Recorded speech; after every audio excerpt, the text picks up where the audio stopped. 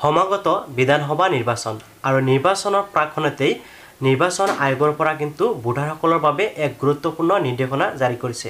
আৰু এই বিষয়টো প্ৰত্যেকজন ভোটাৰৰ বাবে কিন্তু অত্যন্ত গুৰুত্বপূৰ্ণ এটা বিষয় যিটো বিষয় নেকি নিৰ্বাচন আয়োগৰ পৰা ইতিমধ্যে জাৰি কৰিছে। এই বিষয়ে কিন্তু আপোনালোকে জনাটো অতি প্ৰয়োজনীয়। যদি এজন আপুনি ভোটাৰ হয় বা আপুনি এজন ভাৰতৰ সচেতন নাগৰিক হয় তেনেহ'লে আপোনালোকৰ বাবে এই বিষয়বস্তুবোৰ অত্যন্ত গুৰুত্বপূৰ্ণ। তো আপোনালোকে থামনেলত নিশ্চয় দেখিবলৈ পাইছে যে ভোট দিবলৈ গ'লে লাগিব আধাৰ কাৰ্ড পেন কাৰ্ড বা ড্ৰাইভিং লাইচেঞ্চ এইসমূহ প্ৰয়োজন হ'ব। তো এইসমূহ আপোনালোকৰ কেতিয়া প্ৰয়োজন হ'ব বা কোনসকল ভোটাৰৰ বাবে PAN card driving licence Aadhaar card প্ৰয়োজন হ'ব ভোট দিবলৈ যোৱাৰ সময়ত এই বিষয়ে মই আপোনালোকক পোনপ্ৰথমতে ক্লিয়াৰ কৰি দি আছোঁ। ইয়াৰ লগতে কিছুমান বিষয়ে আলোচনা কৰিম।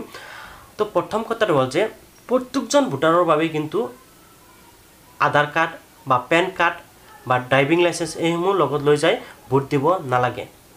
যদি আপোনাৰ হাতত অলৰেডি ভোটাৰ কাৰ্ডটো আছে তেনে ক্ষেত্ৰত কিন্তু আপোনালোকৰ আধাৰ কাৰ্ড বা পেন কাৰ্ড লগত লৈ যোৱাৰ কোনো ধৰণৰ প্ৰয়োজন নাই। সেইসকল ভোটাৰৰ বাবে পেন কাৰ্ড বা আধাৰ কাৰ্ড প্ৰয়োজন হ'ব। যিসকলৰ ভোটাৰৰ হাতত নেকি বা যিসকলে ভোটাৰে এতিয়ালৈকে ভোটাৰ কাৰ্ডটো লাভ কৰা নাই যিসকলে ভোটাৰে নেকি ভোটাৰ কাৰ্ডটো লাভ কৰা নাই সেইসকলে পৰিচয় পত্ৰৰ বাবে যিকোনো এটা ডকুমেণ্টছ ল'ব পাৰে। উদাহৰণ হিচাপে PAN card Aadhaar card driving licence বেংকৰ পাছবুক জব কাৰ্ড এনেকুৱা বহুত ধৰণৰ নথি পত্ৰ আছে। মই লিষ্টটো আপোনালোকক দি দিম আপোনালোকে চাই ল'ব পাৰিব। যিকোনো এটা নথি আপোনালোকে লগত লৈ যায় আপোনালোকে ভোট দিব পাৰিব। ইয়াৰ লগতে দেখিবলৈ পোৱা গৈছে বহুত সংখ্যক মানুহৰ নাম যেতিয়া নেকি ভোটৰ তালিকাত নাম অন্তৰ্ভুক্ত কৰা হৈছিল সেই সময়ত ভুলকৈ অন্তৰ্ভুক্ত হৈছিল। আৰু যাৰ বাবে কি কৰিলে বহুত সংখ্যক মানুহে নামসমূহ শুধৰণি কৰিব লগা হ'ল, অনলাইনত বা অফলাইনত শুধৰণি কৰিছে।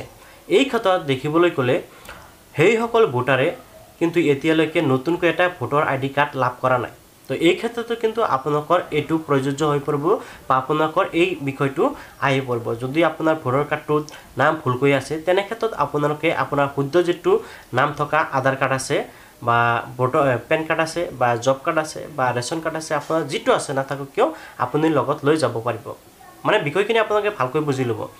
এনেকুৱা কথাটো ধৰক আপোনাৰ ভোটৰ তালিকা যিটো আছে সেই ভোটৰ তালিকাত নাম শুদ্ধকৈ আছে। মানে যেতিয়া আপোনাৰ ভোটৰ কাৰ্ডটো আহিছিল সেই সময়ত আপোনাৰ নামটো ভুলকৈ আছিল আৰু আপুনি নামটো শুধৰণি কৰিছে। নামটো শুধৰণি কৰাৰ পিছত আপোনাৰ ভোটৰ তালিকাত নামটো শুদ্ধকৈ আছে। কিন্তু আপোনাৰ যিটো ভোটৰ কাৰ্ড সেইটোতো শুদ্ধ নহয়। সেইটো নতুনকৈ অহাৰ পিছতে আপুনি শুদ্ধ ভোটৰ কাৰ্ড পাব। কিন্তু এতিয়ালৈকে আপুনি যদি নতুনকৈ পোৱা নাই তেনে ক্ষেত্ৰত আপোনালোকে এই কাৰ্ডটো লৈ যাব পাৰে। জব কাৰ্ড পেন কাৰ্ড বা আপোনালোকে আধাৰ কাৰ্ড এইসমূহ লগত লৈ যাব পাৰে। তো কৰোঁ আপোনালোকে নিশ্চয় প্ৰথম যিটো বিষয় সেই বিষয়টো জানিব পাৰিলে। ইয়াৰ লগতে আপুনি যদি এজন সচেতন নাগৰিক হয় বা সচেতন ভোটাৰ হয় তেনেহ'লে আপোনালোকৰ বাবে এটা গুৰুত্বপূৰ্ণ বিষয় যে আপোনালোকে জানি ৰাখক যে বৰ্তমান সময়ত কি হয় বি বি পেড মেচিনৰ জৰিয়তে বা ইভিং যিটো মেচিন কয় এই মেচিনৰ জৰিয়তে কিন্তু ভোট লোৱা হয়।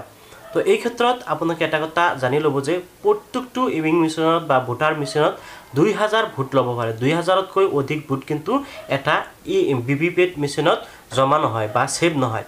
তো এই কথাখিনি আপোনালোকে জানিব। যদি আপোনালোকৰ ভোট কেন্দ্ৰত দুই হাজাৰতকৈ অধিক ভোটাৰ থাকে তেনে ক্ষেত্ৰত আপোনালোকে এই বস্তুটো লক্ষ্য কৰিব পাৰে। যদিও কোনো ধৰণৰ খেলি মেলি নহয় বুলি আশা কৰিব পাৰোঁ তথাপিও আপোনালোকে সচেতন হোৱাটো প্ৰয়োজন।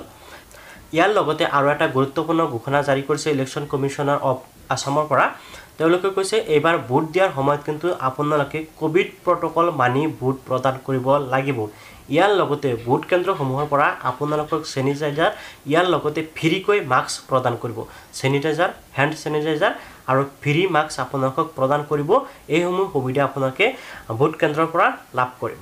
তো আশা কৰোঁ আপোনালোকে নিশ্চয় বেছিক তথ্যখিনি জানিব পাৰিলে। মানে এই কথাখিনি আপোনালোকৰ বাবে অত্যন্ত প্ৰয়োজনীয় বুলি মই ভাবিছিলোঁ যাতে আপোনালোকে ভোট দিয়াৰ সময়ত কোনো ধৰণৰ অসুবিধাৰ সন্মুখীন নহয়। যাৰ বাবে এই কথাখিনি মই আজি আপোনালোকৰ লগত আলোচনা কৰিলোঁ তো আশা কৰোঁ আপোনালোকে নিশ্চয় আজিৰ এই তথ্যখিনি জানিব পাই ভাল পালে। যদি আপোনালোকে তথ্যখিনি জানিব পাৰি ভাল পালে নিশ্চয় ভিডিঅ'টো এটা লাইক কৰিব আৰু আগলৈ এনেকুৱা হেল্পফুল আৰু গুৰুত্বপূৰ্ণ ভিডিঅ'সমূহ পাবলৈ চেনেলটো ছাবস্ক্ৰাইব কৰি থ'ব। চ' ফ্ৰেণ্ডসকল আজিলৈ মানে জইন জয় হ'ম বাই বাই